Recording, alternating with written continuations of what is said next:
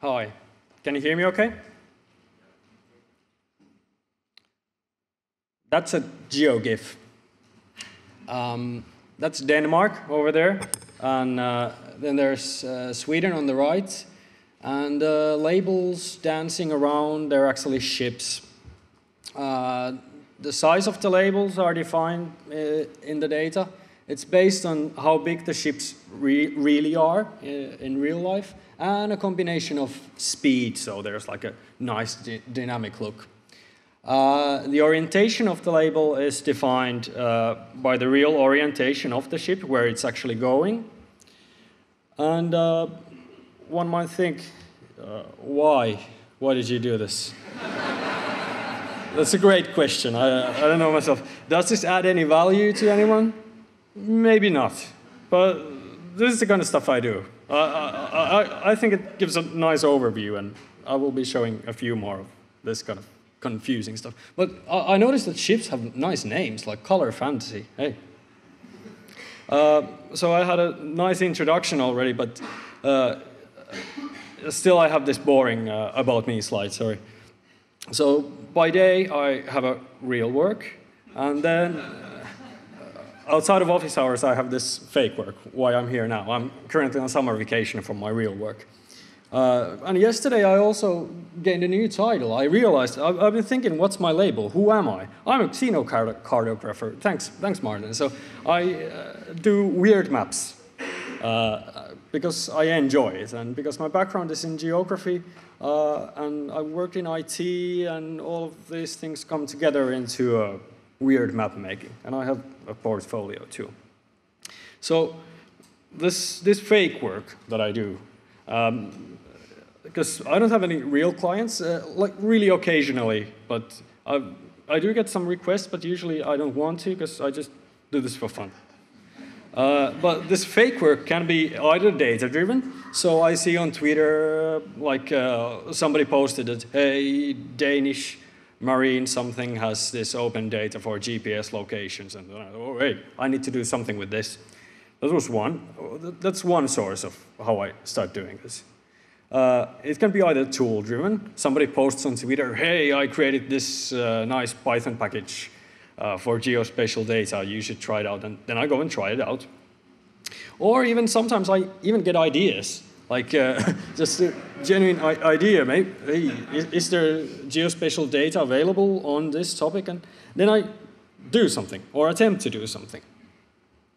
Um, this comment was, uh, once I posted uh, one of those animations on Twitter and this comment was very delightful.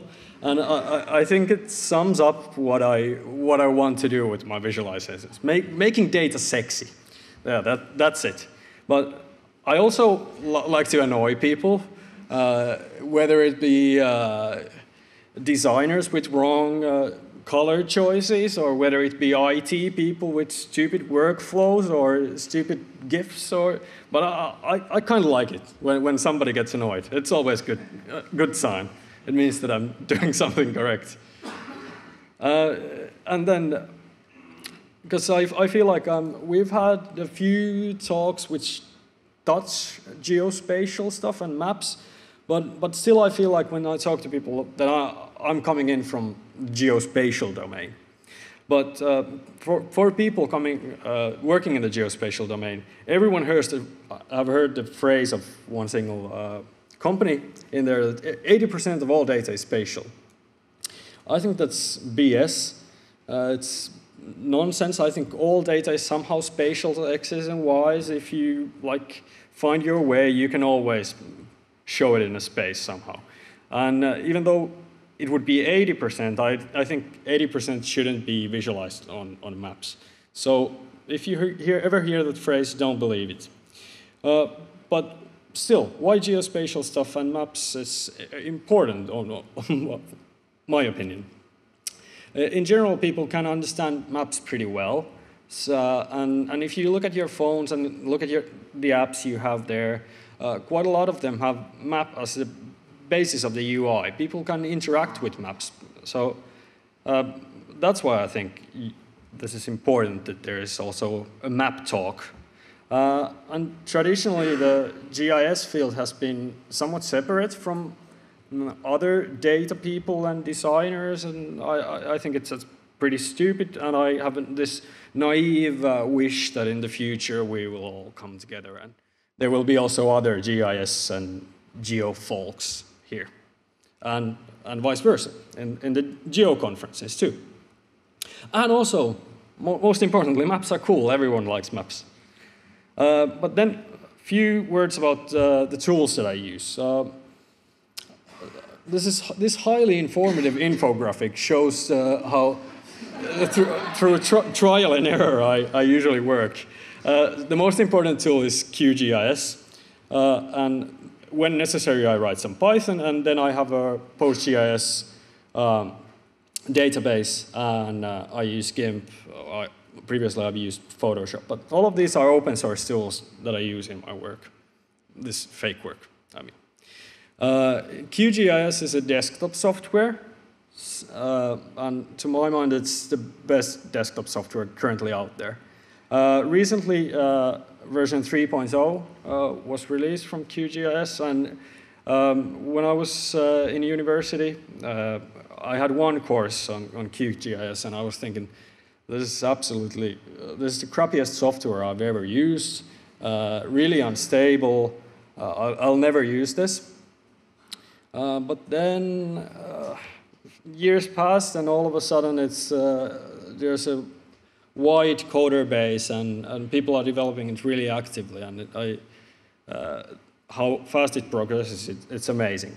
But basically, my, my advice to anyone who's uh, has data on their laptop uh, with x's and y's coordinates or something, uh, don't write your own code to uh, uh, change the format. Don't write your own code to uh, change the coordinate system or something. Use, use QGIS. There are a lot of good open geospatial tools out there for you uh, even though you would be good in maths, it doesn't make sense to start writing our own coordinate transformation algorithms. You can do it if you wish, of course. All of us have pretty weird um, ambitions. Um, but but in, with QGIS, you can basically do static, uh, but also interactive visualizations. Uh, and I work quite a lot with the plugins it offers. Like Time Manager, you will see a lot of that stuff. Uh, yes, there's Three.js. You can export uh, maps to Three.js, uh, to leaflet, to open layers. Uh, and we had a talk today about OpenStreetMap, and you can actually download OpenStreetMap data with QGIS. Uh, I've done 3D printing data with, with it, and yeah, I've heard like 90% of the people do D3 stuff. Yeah, you can also export D3. And what I usually do is I uh, use QGIS to do the basic stuff, then I export it, and then I hack around with the end result. So that's what I recommend also you to do. Uh, Python I, I mainly use for uh, scraping data and cleaning data and, and moving it around.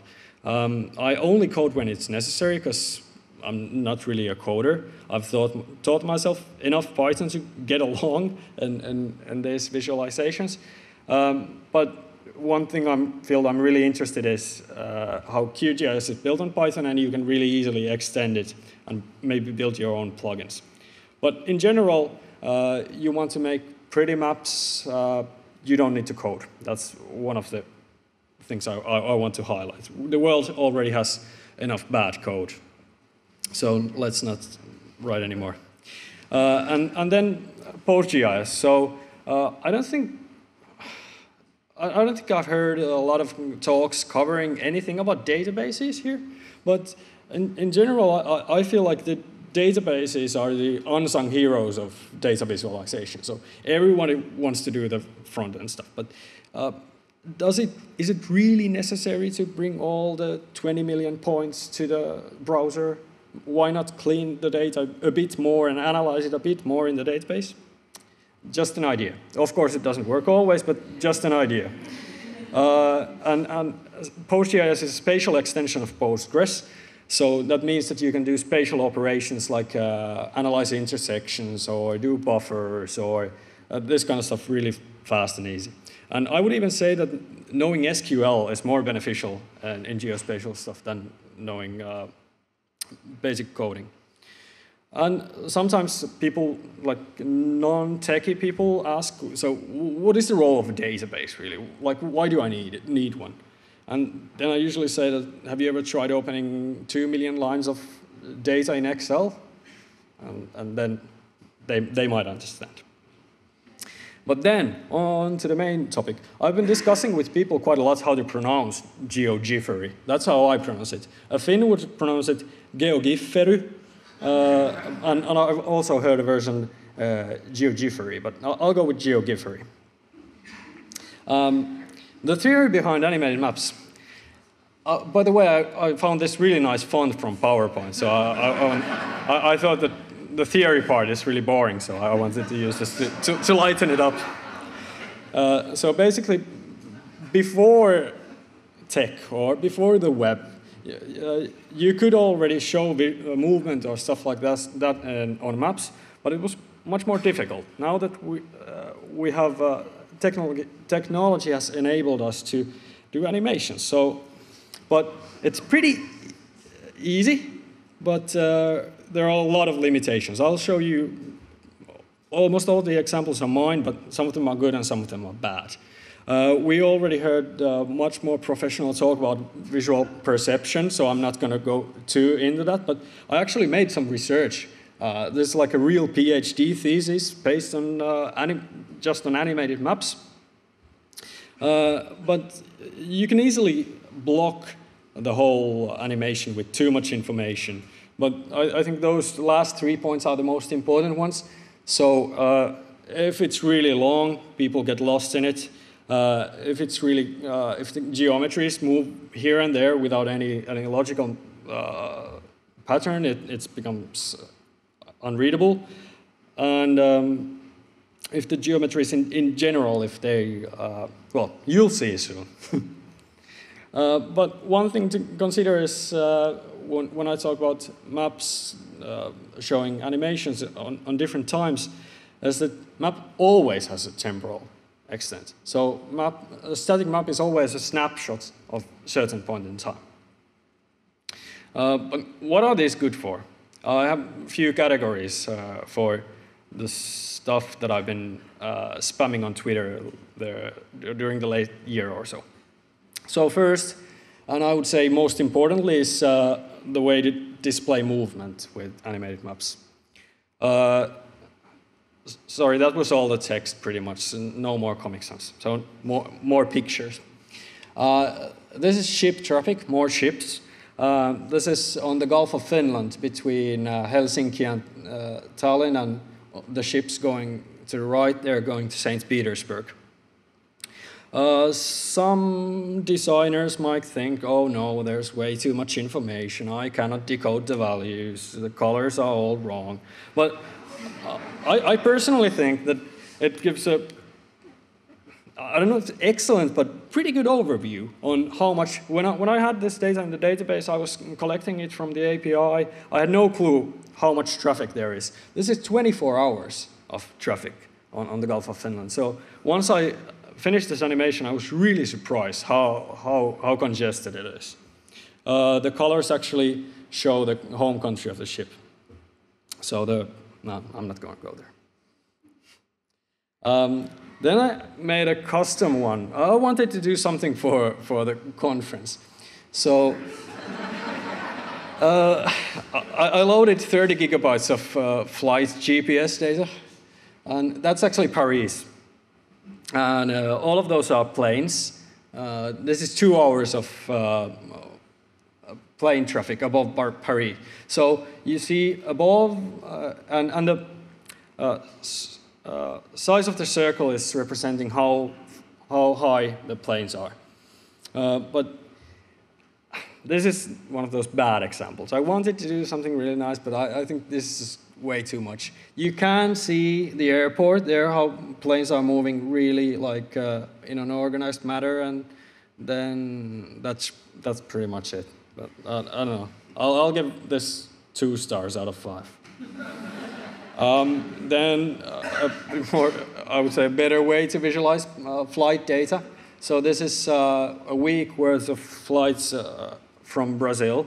So I have found this data set about uh, like origin and destinations uh, in, in Brazil and, and the start time and the end time. So in PostGIS, I created simple lines between the starting and the end endpoints, and then with QGIS Time Manager, I, I created this animation.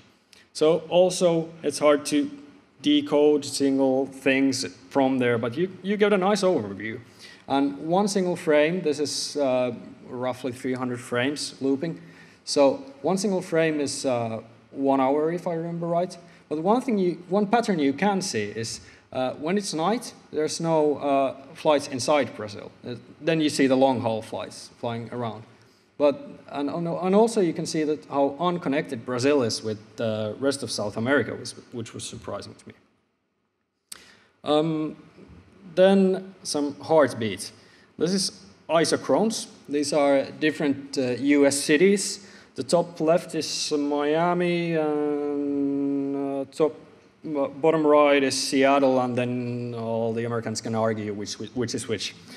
Uh, so this is isochrone, so this shows driving time from the center of each, each city and how far you can reach in, in one hour.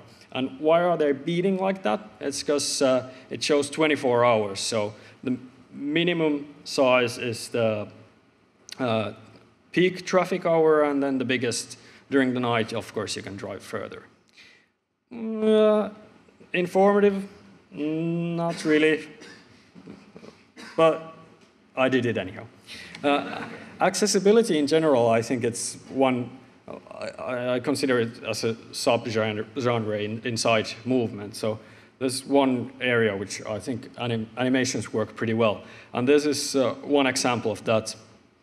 So uh, this starts from my house, and it shows, uh, it compares uh, bicycle travel, public transportation, and, and car to everywhere in, in Helsinki.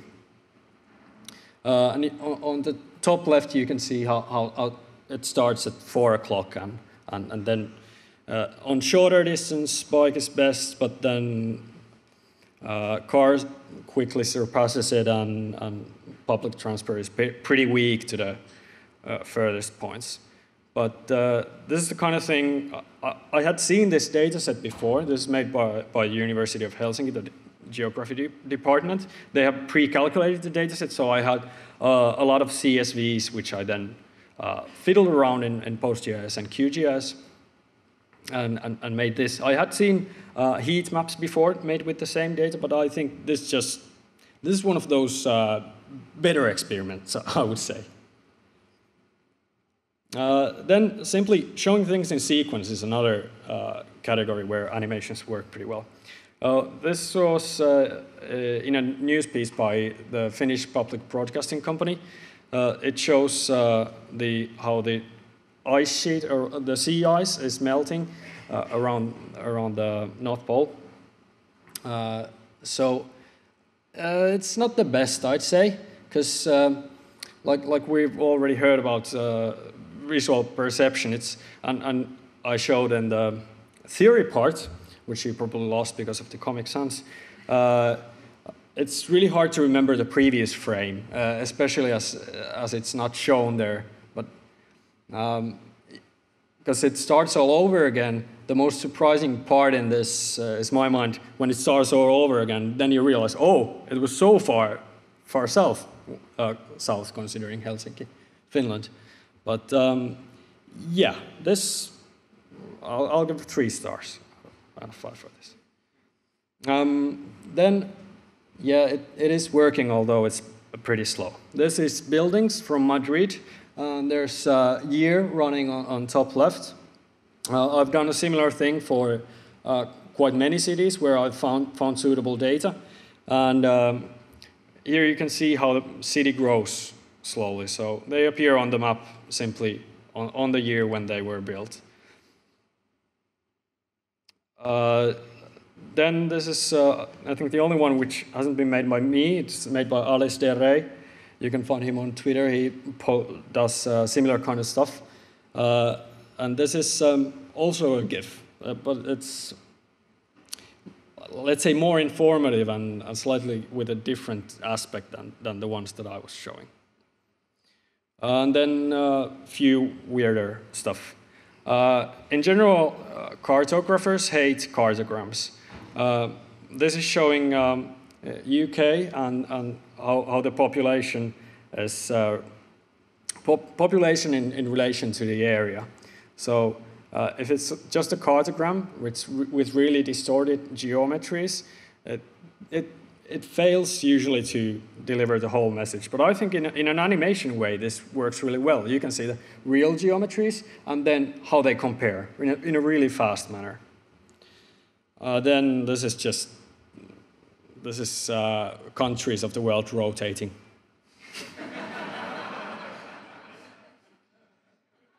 uh, yeah, I, I, just wanted to train like, like how to uh, get data to PostGIS with Python, and then I tried rotating. Sorry. Uh, then uh, how to? Like oh, I already presented the tools, but as you've seen, uh, the data is the key in these. So if the data is bad, uh, the animations don't work. Like uh, I partly blame in, in the poor uh, flight GIF the data because it it's, isn't really good. Um, but all of these are made with QGIS Time Manager or QGIS Atlas. So basically the process is I have data with uh, locations and timestamps, then I export PNGs, uh, and then I stitch them into a GIF. And if your data is poor, you will spend most of the time in the non-interesting stuff. Um, but there are a few uh, tutorials. You, you can find, find this from my website, for example. But now probably most of you are thinking the big elephant in the room is that uh, you want interactivity, and uh, I'm making GIFs. So uh, there's like a, I don't, I don't know, like I've considered them as a, as a lower value thing. And, and, and when, I, when I was working in IT, people were saying, oh, you're making GIFs? it's why not make a proper application or, or JavaScript thing that you can put on the browser and everybody can click around. Oh, yeah, I, I, I understand the point, but uh, I'm now trying to be for GIFs, to support GIFs. If you think how uh, how nice idea is it is that I have like gigabytes of data and all of a sudden it's uh, in a five kilobyte uh, GIF and it still gives you a good overview of the data. It's pretty nice. They work on websites, they work on all browsers, including IE, they work on mobile, uh, and it's been this pretty much similar for the last 30 years. So I think that's worth something. And if you think how, how they're used nowadays in social media, it's, we can really see the value there. I don't know, value? I don't know. We can see how popular they are. Uh, and this was also in my title. I just realized it later that I also promised to show other experimental ways to visualize geospatial data besides GIFs. Well, I, have done something. Uh, so this is actually made by uh, with, with OpenStreetMap data. So a few years ago, some of you might have seen the Roads to Rome project by Moovel Lab. So I got the idea from there, but uh, I wanted to do the process myself. So this is one starting point, the center of the contiguous US, and then it, the routes go to all, all counties. Uh, of course, I've done also an animated version of this, but I wanted to show something else for a change. Uh, and uh, I really like, in general, uh, in, in, the stuff I do, uh, how, how stuff look organic all of a sudden. I, I find that really fascinating, like people moving, or this looks like electricity or veins or something. I've been experimenting with typography, so text, uh, visualizing text on maps. So that's hurricanes, and they might look like lines, but actually it's only text. And, and the size of the text is relative to uh, the, the wind speed of the hurricane. Uh, this is similar to the, the isochrone I, I, showed from the US, but a static version. So it's uh, European cities compared. Well, one of those things not sure if it's like, it looks nice. Uh, it's on the border of being uh, an infographic and a, and a map. I don't know. you tell me, you're, you're the designers. Is this, would somebody do something with it? I don't know. Uh, but yeah, I've, I've also done interactive stuff. Uh, this is population of Europe in, uh, in 3D. Uh, so I'm, I'm really interested in misusing tools in general. So uh, this is done with a QGIS plugin that's used to, for terrain mapping. So if you have a raster with uh, height data, uh, you, you can do a, like nice Three.js thingy. But I, I, had population data in raster, so I, I thought, that, well, that, that might look nice. And, and it did. Uh, this is also, you can find also a link to this on, on my website. Uh, Paris looked like Sauron's tower or something. Uh, then, conclusions. People want conclusions, always. Uh, first set of conclusions. I'm not sure how I feel about GIFs. Uh, I, I, really, yeah, uh, it's a love-hate thing. but maybe it's more on the love side, I guess like I said, they work really well on social media. Even though the, the uglier ones I post, people tend to be pretty excited about them. Uh, and I, I, think in general, people are pretty lazy. Uh, like, many people might like it that they just browse and it's automatically, it's already uh, processed for you, all, all the data in there. You just have to sit back and enjoy. You don't have to do the interactivity. I don't know. Just a thought. Well, in general, I, yeah, more conclusions. Uh, if you want to go into geospatial stuff, uh, just download QGIS and, and, play around with it. You have CS with, with X's and Y's. You can figure it out, definitely. And dare to right click. Uh, you don't always need to code. Uh, use the tools somebody else has made for you. Like I, I consider somebody wiser than me has, has made for you. Just use them. Uh, and there's a secret that uh, the geospatial people don't really like to tell to others, but seriously, the spatial stuff, it isn't really special. Anyone can sort it out. Thanks a lot.